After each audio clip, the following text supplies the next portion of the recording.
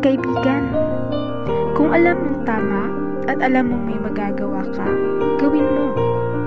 Kasi you will never be different from those people na nagbabasa lang pero walang naiintindihan, nakikinig lang at walang nararamdaman.